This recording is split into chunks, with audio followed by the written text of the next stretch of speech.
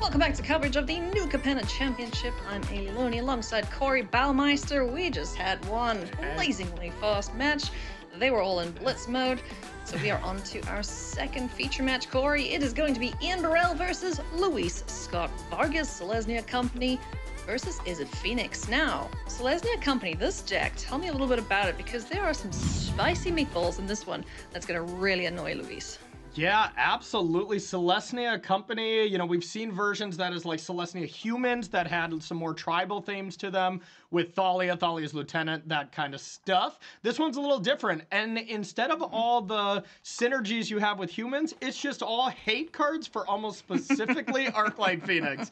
You look, you see Archon of Emeria in the hand, you see mm. Paulo, Elite Spellbinder, and then you see Scavenging Ooze there's plenty more hate to uh, come in this list as well for Phoenix. So Luis Scott Vargas had to have looked at this deck list and been like, uh, gulp? Like, that is a lot of hate. I was like, really? You're doing yeah. this? I, I, I would yeah. be feeling that if I were in Luis's shoes right now, but he is a seasoned professional. Nothing's going to uh, get under his skin. As we get things going here, We've got a Dragon's Rage Channeler and a Ledger Shredder down here for Luis. Now, Scavenging Ooze, the problem bug, as uh, that's, well, it's a news.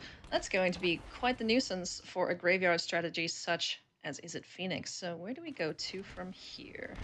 Yeah, it's pretty interesting because this is like the one turn where you can have a little bit of a big turn by playing Faithless Looting. You know, maybe trying to get something going in your graveyard. Uh, not really a chance you're going to be able to hit Delirium, but at least just getting your creatures a little bit larger.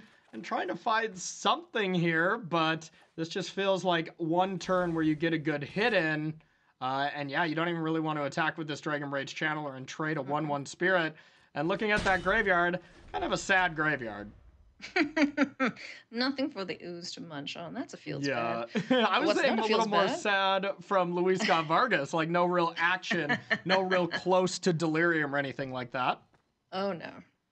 Uh, one really good draw, though, for Ian here is this copy of Thalia, Guardian of Thraben, which is going to stifle whatever plans Luis Scott Vargas has in terms of just, you know, mana efficiency. All your one spells become two mana spells, and that's just not great. Yeah, this uh, style of deck that Ian Birrell has brought is really kind of more of this hate bear strategy. All these cards mm-hmm. that are just so tricky to play against Thalia, Archon, Elite Spellbinder. All this stuff just makes adds up to one huge problem for Izzet Phoenix decks, you know, and this is going to be maybe a little bit of a um, you know, a polarizing matchups when it comes to very good against Phoenix, but if you get paired against, let's say, Golgari Food, probably not exactly what Ian wants to play against. Yeah. Now, this is quite a decent situation here for Luis. Sure, he can only play one spell right now, but the Unholy Heat can take care of the Skoos. So he can say, yeah. excuse me, coming through with whatever graveyard nonsense he's got. There's no green mana up at the moment. Can make the Ledger Shredder into a 3 3 and keep swinging. You know, he's got that going for him. Three toughness yeah. is relevant in this matchup. That is absolutely big, and with no creatures in the graveyard before that, I like uh, Ian's play of just playing something out because Scavenging Ooze could only eat a Faithless Looting or something, and that is, yeah. you know, just okay here. So Symmetry Sage uh, with its boost uh, kind of showing off a little bit here because this is one way to avoid all of this graveyard hate. Be like, yeah, you got all the hate in the world. I'm attacking with 3 3 flyers that cost one mana. Pretty good uh, deal you got going there, huh? Yeah, not bad. Not too shabby. An overgrown farmland, not what Ian's looking for. He would love to find the company card, well, the collected company that is, but he's going to turn to Elite Spellbinder and be horribly disappointed that it's just a Brotherglide pathway in hand. Yeah, absolutely. And a nice removal spell off the top. Luis mm -hmm. snaps that one off. Can only cast one spell a turn. It's better than Faithless Looting that is just going to manipulate, you know, one draw from you. So not ideal yeah. here. And that's Delirium off the top. wow. Look at this. Oh goodness, death by one ones. You well, one drops. You love to see it. yeah, go everyone. yeah, these uh, one drops are are definitely hitting the gym. They are getting bigger and bigger. That's for sure. this is this is like worst case scenario for Ian Birrell who finds a yeah. Elf and nothing else to deal with these pesky pigeons. So Luis is gonna pick up a very nifty game number one. And for all of the interaction and removal and the whatnots that Ian had for the Phoenix deck, just nothing came together there for him. Yeah, you know all that stuff I was saying about it being such a bad mm. matchup. Of course, I meant it the other way around. Um, you know, these uh, Selesnya cards are not up to snuff. No, I'm just saying that. Uh, you know, maybe just the way that these Phoenix decks are built now, with Symmetry Sage um, being the key addition, Ledger Shredder another yeah. card. Both of those cards don't really care about the graveyard as much, and don't necessarily care about your cards being extremely cheap. Um, you know, so maybe this style of deck, the Thalias, the Esper Sentinels, all this, all this stuff that has pestered Phoenix in the past, maybe it's not as bad. yeah, it doesn't look like it. And we have known the company deck to run out of gas at certain points. It really needs to hit on that important yeah. card in Collected Company. But, you know, from Luis's side, he's going to be very pleased with this. He is still in the hunt, trying to get into that league qualifier box for the World Championship. So He'll be quite happy to pick up another win here, getting him closer to the top five for the league players. Exactly. He's been right outside of the box. So, you know, he's kind of been asking himself all weekend, like, what's in the box? You know, he's trying to get there. And, uh, you know, sitting sitting pretty healthy at eighth place with 75 points. That line is Marcio at fifth with 81 points. So, you know, two match wins away, and this doesn't factor in anybody getting into the top six of this tournament. Looking at you, Shota, you know, having the best chance to do so uh, as well. That could right now, boost yeah. up Luis a little bit. So, definitely yeah. still in contention and, and looking pretty good to, to do it as long as he can pick up some W's here in Historic. That's what they'll be hoping to do. Down to the Bugbear. Great draw there for Luis. That's land number three. Ledger Shredder down on the battlefield on time.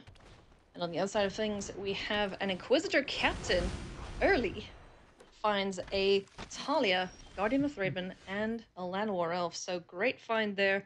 All the spells are now more expensive. Thalia yep. needs to go quickly. And speaking some of the cards like we were talking about with Symmetry Sage, that got a little boost. Inquisitor Captain actually did get a little bit of a nerf. You know, it just it got a little bit more controlled. It used to be able to, you know, you could hit all these clone effects and just keep going, yeah. keep going. And that card it used to just be insane. It's still very powerful, uh, but that was some really fun stuff to do with mm-hmm. Yorion, if you will. Oh yeah, and with a Glasspool Mimic. I think Glass I strung yep. together like three Glasspool Mimics in a row. Oh, it was great fun it was one of my favorite decks to play. I must say, I, I played a lot with that, those style of decks. All right, so Ian off to a great start here. What's the follow-up going to be? It's going to be another Tangled Florahedron. So Mana Dork number two hits the board along with an Archon of Emeria. That is the second spell for turn though. So Ledger Shredder is going to say thank you hmm. very much. I'll take that. Yeah, absolutely. And here you if you're Luis Galvarius, you want to try to get your spells in while you can before Archon comes into play. But the combination of Esper Ooh, Sentinel, Thalia, and Archon uh, is pretty Oof. brutal. But yeah, Pillar's going to definitely help in this scenario. Now, which one do you go yes. for? They're all so good. Oh, you got to take care of Thalia. She's making yeah. she's making a, a, no fun zone, and nobody likes that. She's the fun police. Ooh, big draw right there. Excellent draw. Skyclave Apparition is going to come down and munch on this birdie. So no thank you, no more fun for you.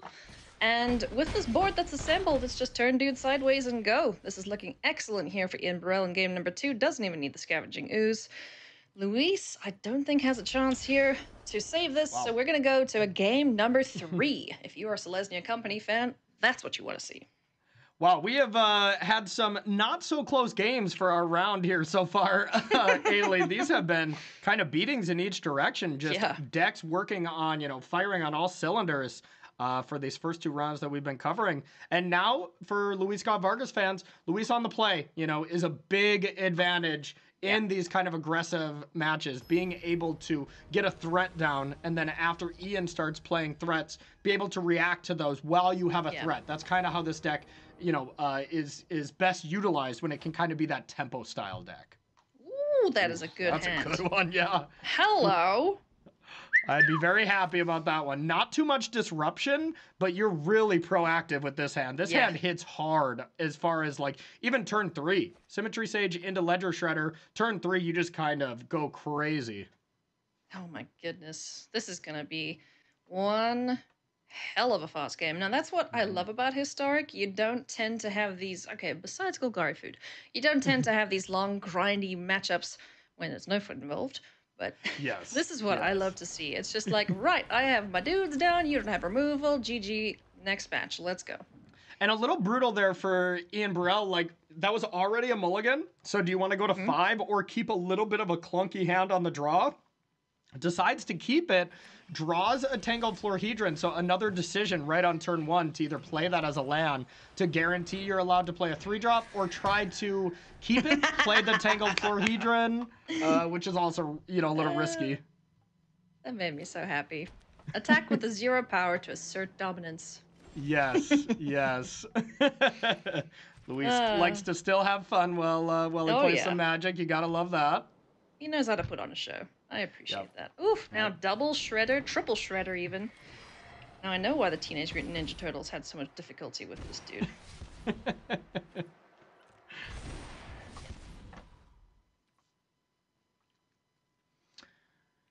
Wow, this is powerful. Being able to uh, draw a, but just really sculpt your hand here and make these cards quite large. Do you want that third symmetry sage? to Decide, or the second symmetry sage decides to keep it.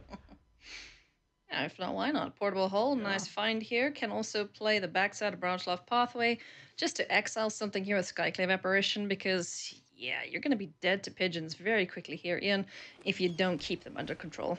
Yeah, interesting. I, I really feel like you have to be mana efficient and play one of the three drops at least. Interesting to choice between Skyclave or Archon. But here's this expressive iteration. It's not going to be able to cast a second card, so you're really putting Hmm. some emphasis on finding a land to put into exile. There and. Unholy Heat is a great pickup, something that you can cast Oh, on. Ian's turn. Uh, is, is going to be very valuable here. Oh, that expressive iteration was Chef's Kiss. Four Oh, points yeah. of damage in, down to 12 goes Ian Birrell. There's Italia. No fourth land, though, unfortunately, so can't go Skyclave into Portable Hole or anything like that. So where do we go from here? Is it time to get the skies filled with Elite Spellbinder? What's the plan? I would think just Skyclave here to uh, get I saying? that Archon's down. Yeah, exactly, Can't exactly. even Can't get double two spell. spells. Yeah, curse you, Archon. It's an incredible card, that's for sure. Yeah. It's really good, except when you need it to not be so good so you can do more things, you know? yeah. It's like, all right, opponent, could you kill this, please? Thank you. Hey, Okay, oh, so there there is the delirious unholy heat to deal with Archon, and now the shields are down, and Luis is really gonna go crazy here with three one mana spells in hand. You gotta think it's birdie time. I think so. Let's just kill everything on Ian's side of the battlefield. Let's Oof. make our birds ginormous. I'm gonna get another 1 1 for the funsies and gonna smack you for 7 down to 5.